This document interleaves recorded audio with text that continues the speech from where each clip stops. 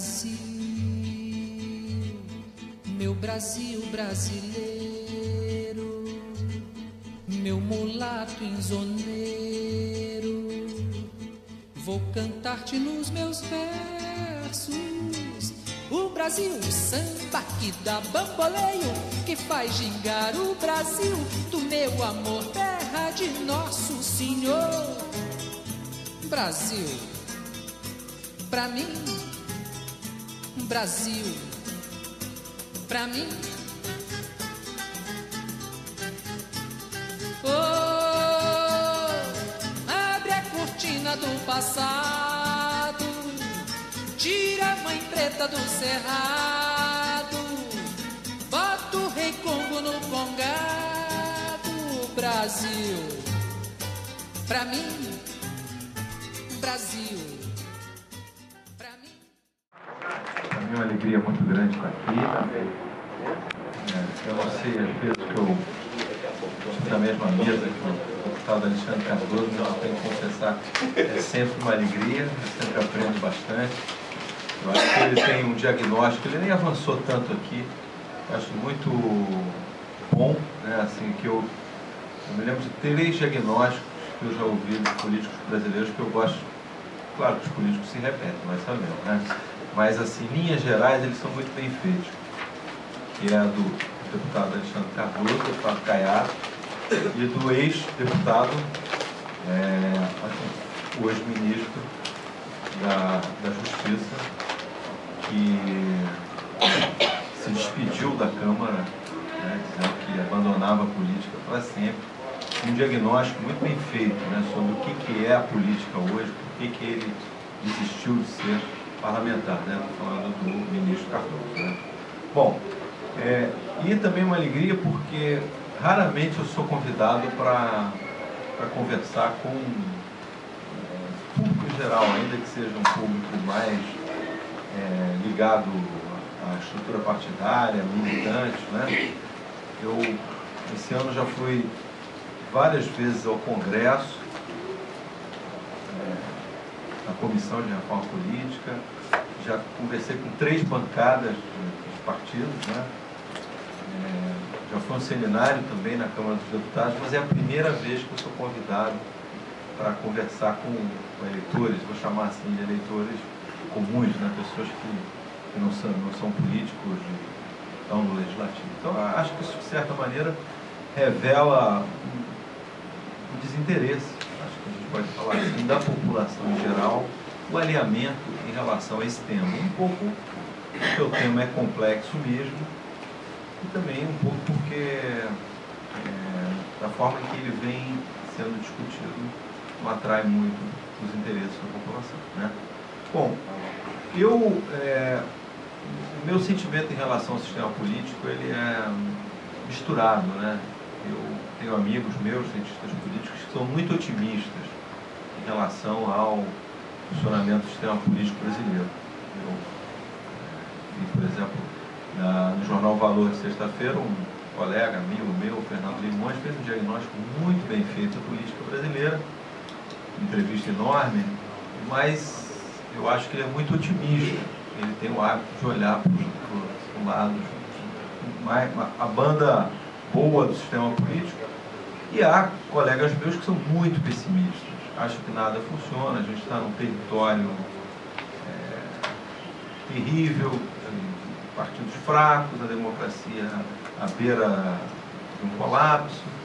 E, e na verdade, eu, eu, meu sentimento é um pouco misturado. Né? Eu tendo, dependendo do ambiente, dependendo é, das circunstâncias, chamar atenção para aspectos mais positivos ou mais negativos. Eu acho que eles é, paradoxalmente, a, a, democracia brasileira convive com aspectos muito positivos, né, sobretudo se a gente observa o funcionamento de democracias, por exemplo, em países vizinhos da América Latina, as dificuldades de consolidação da democracia nas ex-repúblicas ex é, da União Soviética, do leste europeu.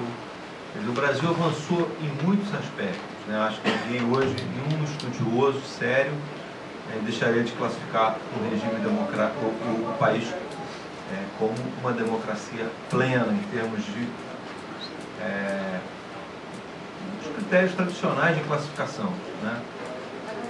Então, hoje não há grandes grupos sociais excluídos do direito de voto no Brasil, não há, ainda que é, por uma parte dos eleitores analfabetos não seja obrigatório votar e por isso nós não sabemos ao, ao, certo, não há pesquisa e, e, e talvez só uma, uma, nova edição de uma, de uma pesquisa do tipo da, da PNAD poderia resolver esse problema. Né?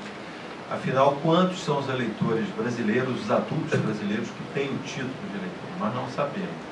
Mas formalmente, a única, não há nenhum grupo excluído e os analfabetos que ainda ainda são um contingente alto para o país, em torno de 10% dos adultos ainda são analfabetos. Em alguns estados isso bate a 20%, 25%, caso de Alagoas, Maranhão. Mas nós não sabemos quantos desses eleitores, é, para quem o registro não é obrigatório, quantos de fato têm o título.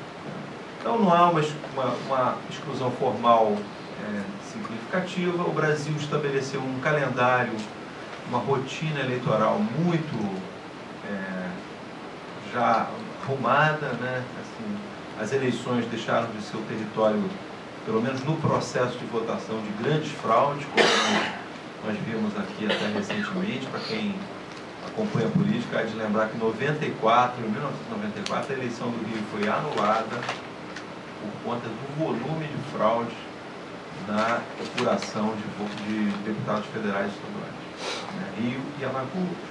Depois o TSE suspendeu essa decisão, deu posse aos deputados no meio do mandato que tinham da primeira eleição, porque no segundo turno todos nós fomos de novo às urnas e votamos para deputado federal e estadual novamente, além é, dos candidatos a governador que tinham passado no segundo turno. Então foi uma eleição atípica, mas isso não tem muito tempo. Dizer, e nós hoje avançamos para quem não viu, sugiro que veja um, um, vídeo muito interessante chamado Recontagem, é um filme que mostra as eleições americanas de 2000 e como aquele processo foi viciado, né, dificuldade de apuração, fraude de todo tipo, lá nos Estados Unidos, que gerou uma, um resultado totalmente enviesado. Né? O presidente ganhou nas urnas, o Al Gore, e não levou no colégio, e, e o outro levou no colégio, o George Bush. Apuração. Hã? É, levou na apuração, mas assim, é, uma série de, de, de fatores né, que dificilmente não aconteceriam no Brasil para já o nosso sistema é, de eleições é direto, coisa que não é nos Estados Unidos. Né? Os eleitores, muita gente não sabe disso, mas o voto nos Estados Unidos não é direto como o nosso. Né? Bom, então, vamos dizer assim, talvez não seja o caso de falar do lado bom da falar muito do lado positivo da Lua, só, só para chamar a atenção e a gente poderia ficar aqui falando de vários avanços, né, em termos de estabilidade, em termos de direitos individuais, como é, de liberdades públicas, o Brasil realmente avançou e hoje é uma democracia. Mas nós combinamos isso com um sistema político que dá também alguns sinais de é, eu não sei se a gente pode chamar de palavra crise, porque a crise está muito associada a algo disfuncional, algo que mostra, é, por exemplo, o Reino Unido hoje está numa crise grave. Né? É, a França passou por uma crise social, ou, ou lá, talvez a Venezuela esteja entrando numa crise. São, são crises sociais, crises políticas. Nós não temos sinais no Brasil, curiosamente, de que as coisas estão muito graves.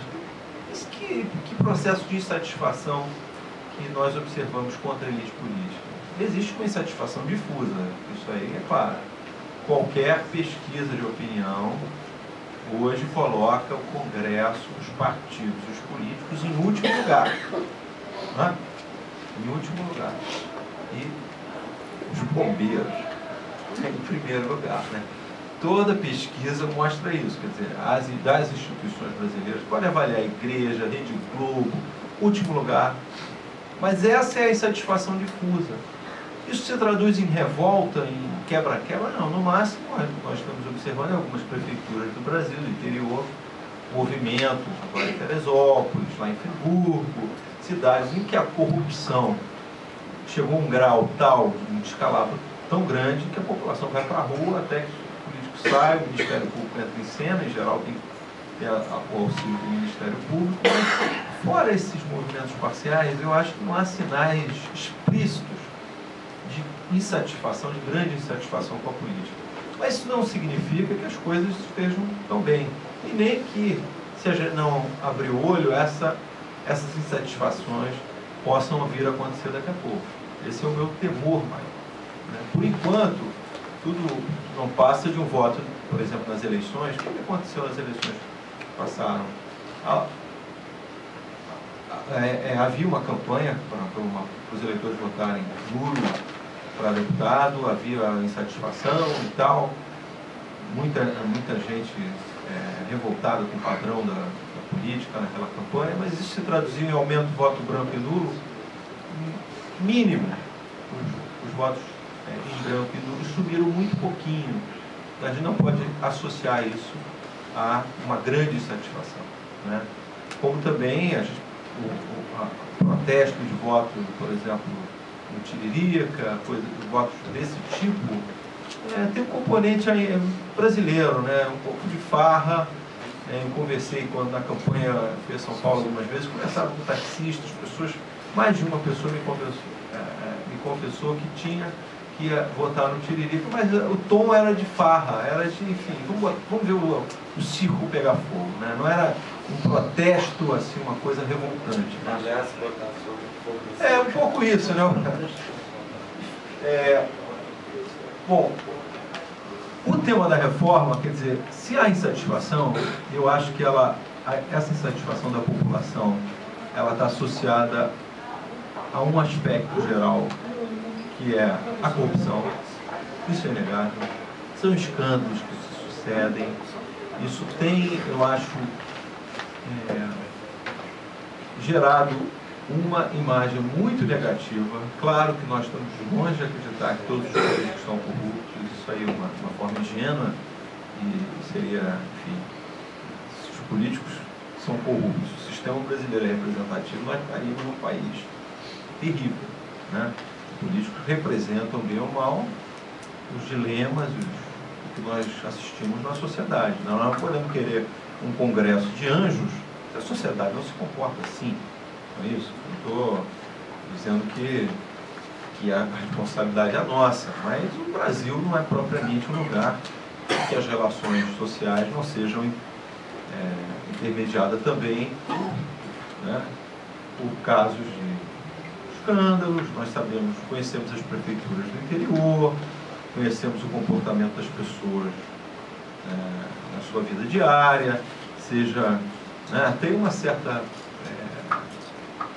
uma certa permissividade no comportamento das pessoas, isso se traduz para o jeitinho, se traduz para a corrupção, para os escândalos, mas, bem ou mal, é, independente desse comportamento nosso de brasileiro, a nossa elite tem dado exemplos sucessivos.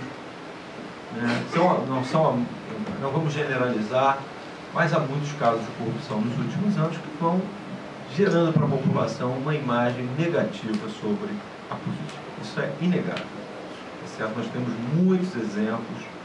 Basta ver agora, o começo do governo Dilma, quantos escândalos né?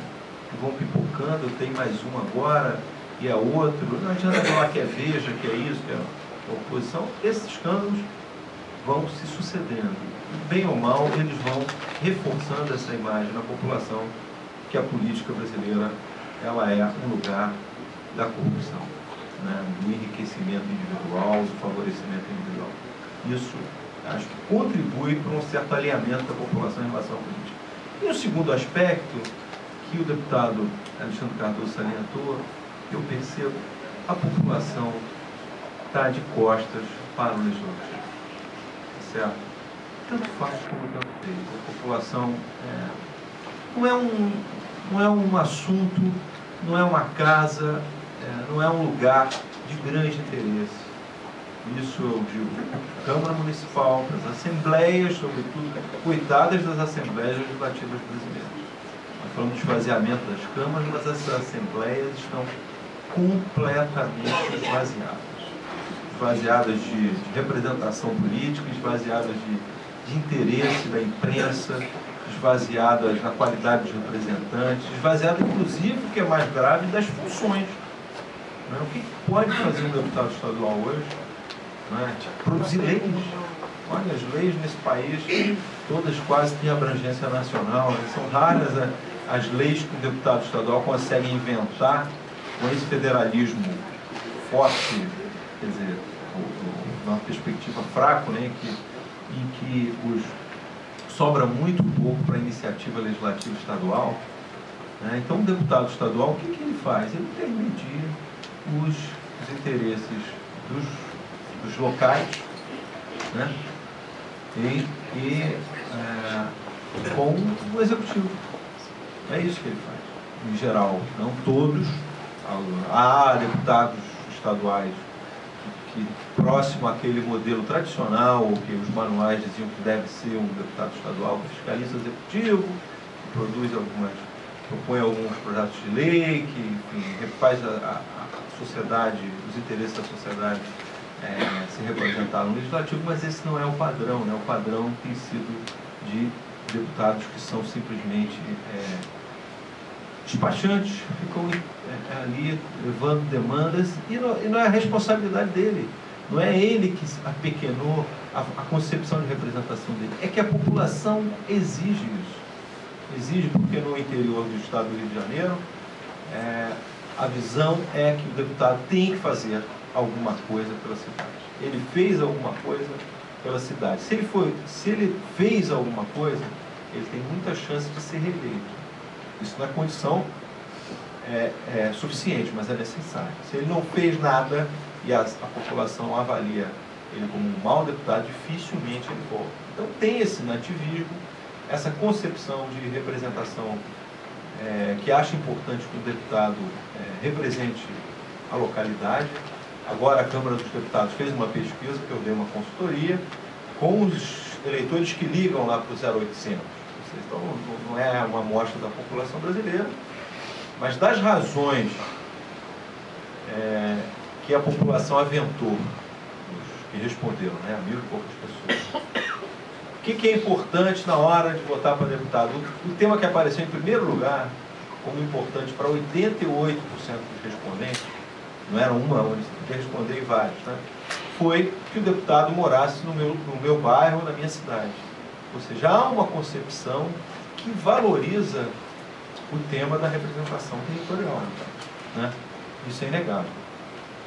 Mas, é, então nós estamos, eu acho que esses são os dois maiores desafios. Nós, é, a corrupção, que faz com que a, a, a população desconfie da nossa elite política, e também o esvaziamento legislativo e é, a pouca relevância que o legislativo tem para os cidadãos comuns. Só para vocês terem uma ideia, na última eleição aqui no Rio de Janeiro, na véspera da eleição, isso eu recebi uma pesquisa do IPOP, metade dos eleitores não tinham escolhido um nome. E a, a, um consórcio de cientistas políticos fez uma pesquisa no Brasil, que chama ZEB, uma grande pesquisa feita em novembro, é, é, é, domiciliar, por amostra probabilística, a pesquisa mais séria que a comunidade de ciência política faz. Essa pesquisa, eu agora acabei de analisar os dados do voto para deputado, em novembro, é, metade, metade da população, dos eleitores, lembravam quem tinha votado para deputado. A outra metade, 30% do todo, não lembrava mais e 20% lembrava de simplesmente disse nomes que não concorreram. Ou nomes que concorreram por outro cargo, Lula. É... O Jair foi dos que votaram? Dos que votaram. Menos de um. Me, menos de um ano não, 45 dias depois. Os que votaram. Os que votaram. Porque teve um time que não votou. É, então, é, há, há, evidências para mim claras de, de alinhamento, de, enfim, claro também, não é hora de discutir isso aqui, é um tema bom, talvez para um seminário, uma outra volta desse seminário de vocês, tem a ver com o esvaziamento legislativo em geral no planeta. O fortalecimento do executivo no Brasil é óbvio, mas isso é no mundo inteiro. no mundo inteiro. Há um, processo nos últimos, nas últimas décadas de fortalecimento do executivo e também de judicialização da política.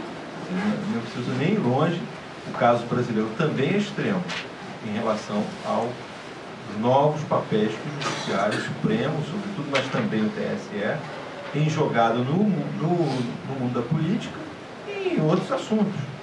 Quanto tempo, se nós fôssemos discutir essa decisão do Supremo com relação a, aos homossexuais?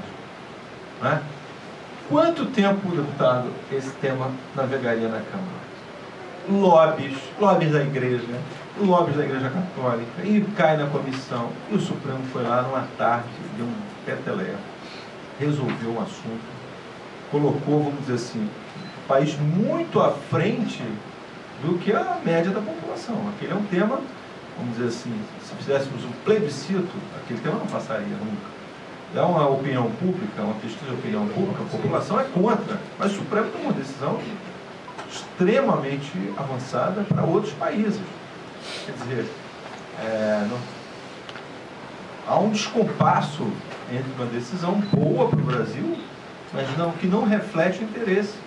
Então tem isso, tem o executivo operando num campo, tem é, o judiciário no outro campo e a Constituição de 88 que esvaziou as assembleias e esvaziou as câmaras municipais. É isso, deixando muito pouca tarefa legislativa para esses poderes e, simultaneamente, criando muitas câmaras novas né, pelo país afora, como o deputado anunciou, só reproduzindo em pequenas cidades um, um poder que faz muito pouco. Vamos, vamos e venhamos.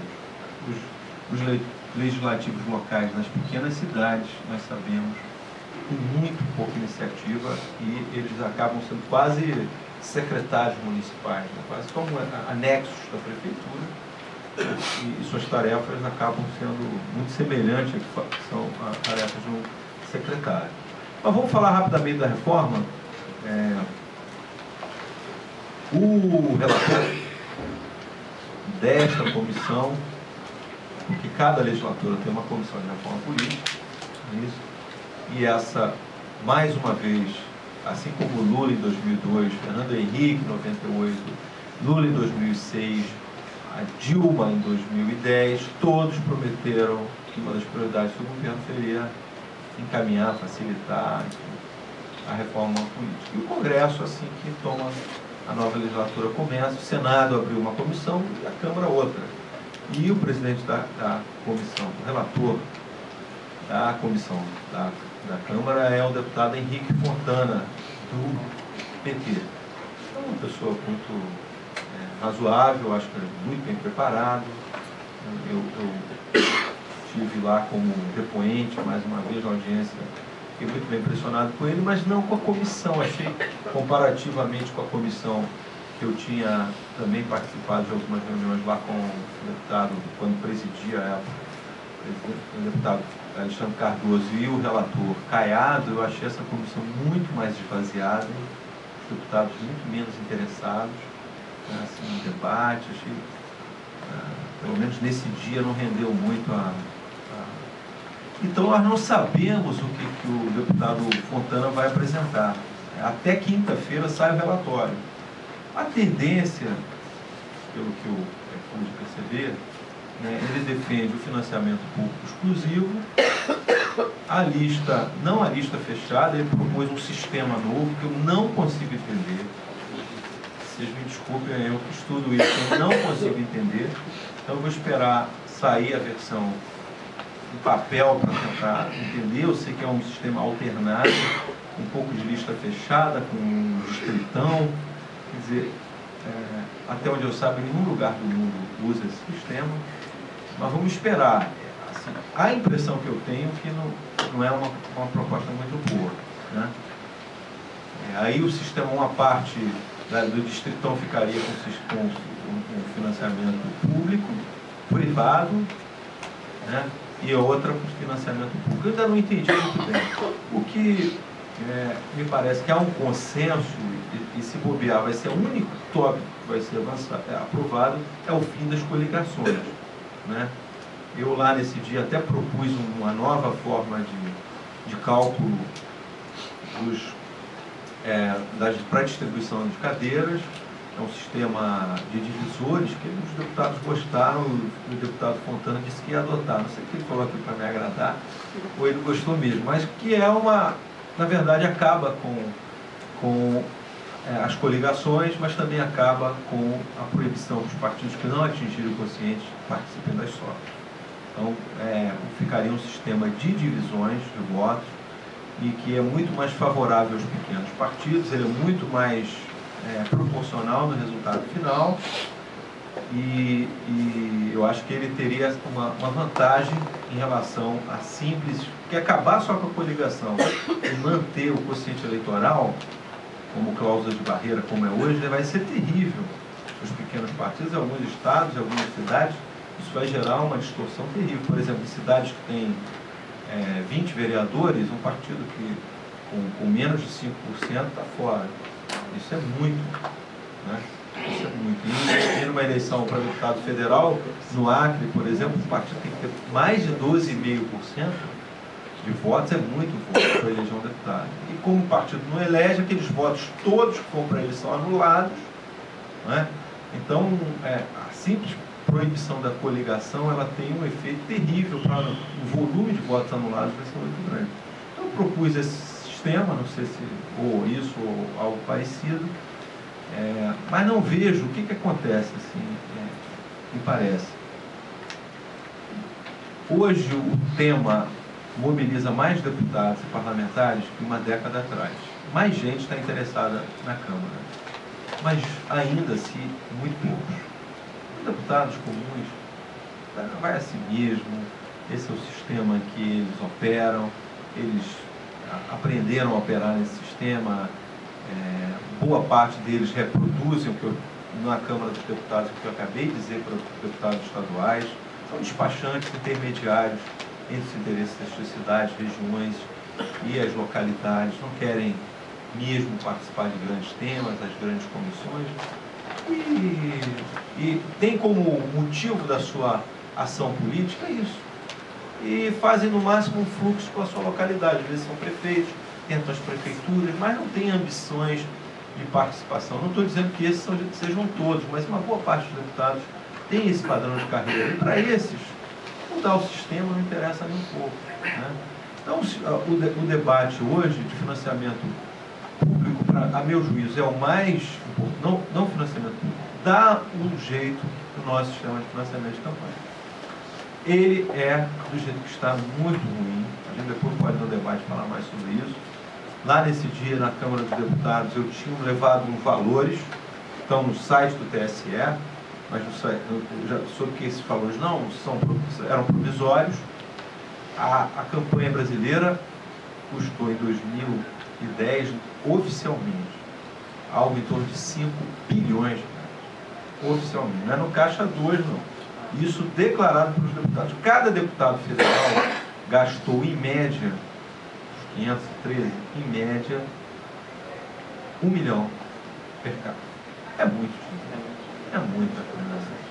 Certo? E na mesma época, ah, tudo bem, sistema inglês é distrital, tá, tá, tá, eu sei disso tudo. A comparação tem que ser vista com cuidado. Mas as eleições gerais do Reino Unido custaram aos cofres, os cofres públicos não, lá é, é recurso privado, os cofres privados, os cidadãos, as empresas que doaram, a campanha custou 70 milhões de reais. Reais campanha inglesa saiu mais barata, toda, todo o território, todos os candidatos, tudo bem, lá só tem um cargo, você vota para deputado nacional, você está elegendo primeiro-ministro, mas tudo bem. É, a moeda é um pouquinho mais forte que a nossa. Eu fiz, a, mesmo para nossa moeda, a campanha inglesa, com todos, sem fazer o ajuste de padrão de custo de vida, nós temos um problema e tanto, nossas campanhas estão